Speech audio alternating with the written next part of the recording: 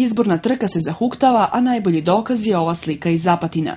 Na stotine ljudi danas je došlo da potpiše podršku za izbornu listu Socijalističke partije Srbije, koju će predvoditi dr. Živorac Smiljanić.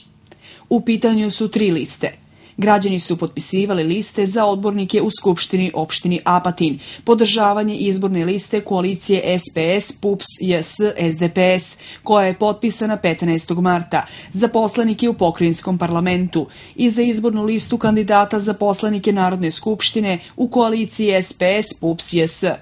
I ova slika pokazuje da će izborna trka u Apatinu biti i tekako zanimljiva, a prva na crtu je izašla Socijalistička partija Srbije ovog grada.